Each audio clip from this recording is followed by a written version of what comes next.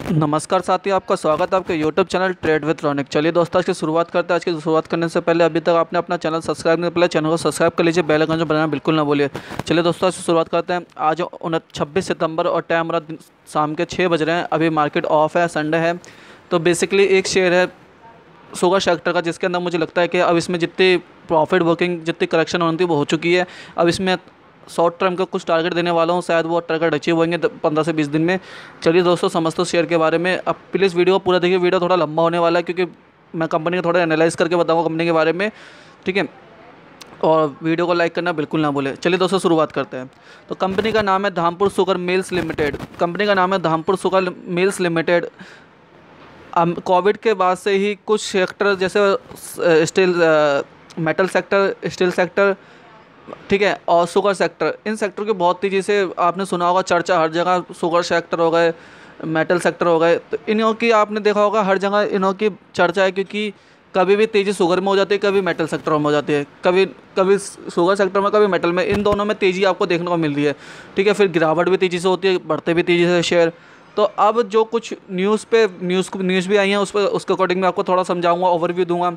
तो समझते हैं कि भाई शुगर मिल्स के, धामपुर शुगर मिल्स का क्या क्या वर्किंग है, पहले समझता है। देखिए, शुगर तो इन्होंने बनाना है, पहला प्योरिटी इनकी चीनी बनाने की है, दूसरी इनके पावर बनाते हैं, तीसरा एथेनॉल बनाते हैं इलीनियम बनाते हैं इंडस्ट्रियल के लिए गैसेस बनाते हैं बायो फर्टिलाइज़र बनाते हैं। ये इनके वेंचर है जिनके अंदर शुगर, धामपुर शुगर मिल्स काम करती है, देखिए। Sugar power ethanol bio fertiliser ये सारा काम करती है कंपनी ठीक है? तो ये ओवरव्यू है कंपनी की वेबसाइट का लिंक मैं आपको दे दूँगा, वीडियो को डिस्क्रिप्शन में आप वहाँ पर जाके अपना कंपनी के बारे में पूरा एनालाइज कर सकते हैं सर्च कर सकते हैं, क्योंकि कंपनी ने वेबसाइट पर पूरी डिटेल दी है। अब समझते कि भाई फ्राइडे को ऐसा क्या हुआ था, जिस वजह से इतनी तेज़ी आई, गिरावट के चलते हुए एकदम से सारे शो एकदम तेज़ी से भागने लग गए। चलिए, वो भी थोड़ी देर में समझाऊँगा आपको। पहले समझते ओवरव्यू के शेयर किस लेवल पर ट्रेड कर रहा है, क्यों कर रहा है। तो ये देखिए धामपुर शुगर मिल्स लिमिटेड का जो ओवरव्यू था गूगल पे मैंने ओपन कर लिया है, ठीक है। ये तीन सौ एक रुपये पर ओवर ओपन होता है, तीन सौ दस रुपये का हाई मारता है दो सौ सत्तानवे का लो मारता है, ठीक है? और ये एक एक पॉइंट सत्तर परसेंट की तेज़ी के साथ बंद हुआ है, ठीक है? इसका फिफ्टी टू हाई है, तीन सौ पचानवे फिफ्टी टू लो है, एक सौ सत्ताईस रुपये इसका ओवरव्यू है कंपनी का कि भाई कंपनी किस लेवल पर ट्रेड कर रहा है शेयर का ओवरव्यू है ये। आप समझते हैं शेयर के अंदर और क्या प्लस प्लस पॉइंट है? पहले आप कंपनी का एनालाइज करके देख लेते हैं। मेरे स्कैनर के साइड पर मैंने ओपन कर लिया है। तो इसका मार्केट कैप है एक हज़ार नौ सौ छियानवे करोड़ रुपये का। पीई भी सही है, इसका आरओसी भी सही है, ठीक है?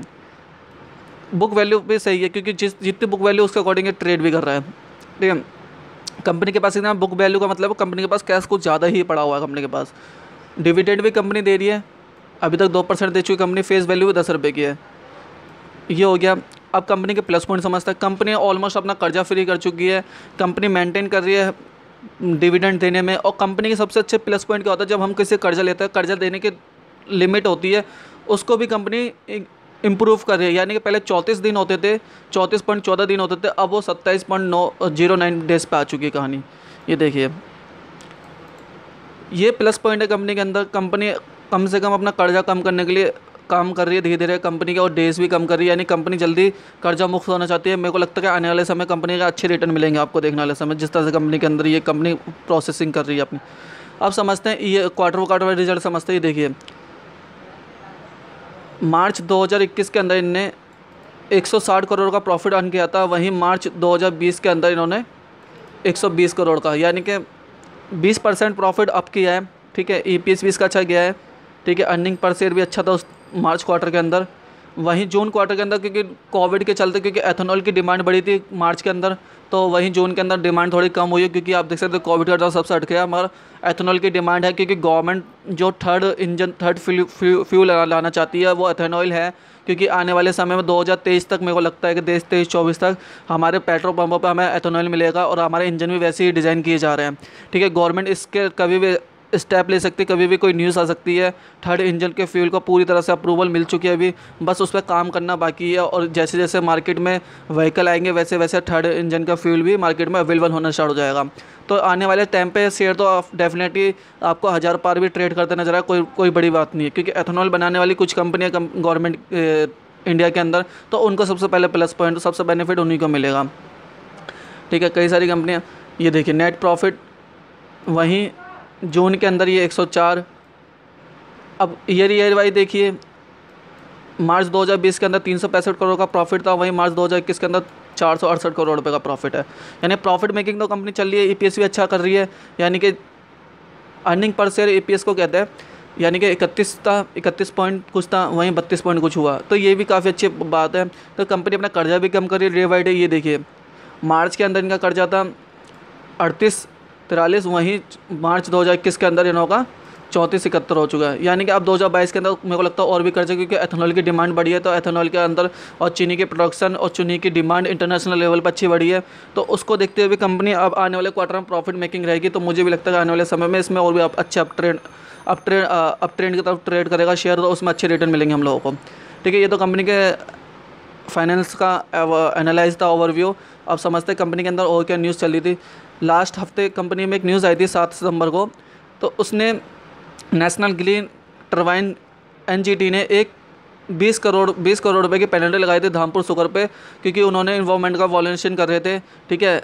तो उसको चलते हुए इन्होंने 20 करोड़ की पेनल्टी लगाई थी धाम, इसलिए कंपनी का शेयर था वो एक परसेंट नीचे डाउन चल रहा था, ठीक है? ये एक न्यूज़ तो ये थी सब इस महीने में, पहले सात सितंबर को ये न्यूज़ आती कल एक न्यूज़ आती है कि भाई शुगर सेक्टर के लिए एक न्यूज़ आती है कि शुगर सेक्टर का जो क्या एसोसिएशन है, उसने गवर्नमेंट को अपील करी थी कि भाई एमएसपी बढ़ाया जाए, इकतीस से पर के एटलीस्ट चौंतीस से पैंतीस किलो के जी की जाए, चौंतीस से पैंतीस अभी इकतीस चल रहा है तो अब इकतीस से चौंतीस पैंतीस रुपये पर किलो किया जाए तो इससे हमारे को हेल्प मिलेगी। हम अपने जो शुगर यानी कि जो फार्मरों के ड्यूज़ है, उसको देने में और शुगर कैन की ड्यूज़ है, उसको देने में हमें हेल्प मिलेगी। तो गवर्नमेंट ने उसमें इमीडिएटली एक्शन ले लिया था। इसीलिए आपने बोला, आपने देखा डे आफ्टर के बाद सारे शेयर शुगर के तेज़ी से भाग चुके थे। ये वो न्यूज़ है पूरा, ठीक है? पी ने इमीडिएटली इंक्रीज़ करा, ठीक है? Minimum sale M M S P इकतीस से बढ़ाकर चौंतीस से पैंतीस रुपये पर पर के जी कर दी हेल्प करेगी। यार शुगर कैंस के ड्यूज़, यानी कि जो किसान, जो शुगर कैंस की ड्यूज़ थी उनको, और जो नया सीज़न स्टार्ट होगा, अक्टूबर के बाद स्टार्ट होगा नेक्स्ट मंथ से नया सीज़न स्टार्ट होगा, उसमें अर्निंग और नया सीज़न लगेगा, ठीक है? तो ये ओवरव्यू है। तो भाई, इस न्यूज़ के चलते ही सारे शुगर के शेयर एकदम तेज़ी से भागे रहते हैं, ठीक है? इसलिए सारे शुगर शेयरों में तेज़ी आई थी। आप समझते हैं और क्या प्लस पॉइंट है। अब ये धामपुर का ओवरव्यू है। ठीक है, इसमें हमें टिकट एक भी साइड में फिफ्टी परसेंट एनालाइजर हमें बोले इसमें बाय करने के लिए। ये ओवरव्यू हो गया हमारा। अब चार्ट पे समझते हैं। ये मैंने इसका डेली चार्ट ओपन कर लिया है। ये देखिए, ये यहाँ पे वी डब्ल्यू ए पी के अंदर से इंडिकेशन आ चुका है अप ट्रेंड की तरफ़। ये देखिए आर एस आई भी अप ट्रेंड की तरफ़ आ चुका है। और ये जो कैंडल ब्लिश यहाँ पे जो कैंडल ब्लिश ट्रेंड हो रही है इस कैंडल को कहते हैं हैंगिंग मैन कैंडल ठीक है? इस कैंडल का मतलब है इसमें गिरावट जितनी होनी थी वो हो चुकी है, क्योंकि देखिए, बड़ा भी, घटा भी, हमारा एक लेवल पे आके 300 लेवल पे हट चुका है ये। ये देखते हैं, ये कहाँ सपोर्ट ले रहा है, क्या कर रहा है। पहले तो मैं आपको इसका स्टॉप लॉस बता देता हूँ आपको स्टॉप लॉस रखना है इसमें 287 का स्टॉप दो सौ सतासी रुपये का स्टॉप लॉस के साथ इसे बाय करना है आपको। और देखिए, इस कैंडल पर ही, ये जो कैंडल है, इस कैंडल पर सपोर्ट ले रहा है ये। ठीक है two eight two eighty seven की कैंडल है। टू एटी कैंडल से ये सब कैंडल गई है अप ट्रेंड की तरफ़। Two ninety three three ninety तीन सौ चालीस रुपये के आसपास ये कैंडल गई है।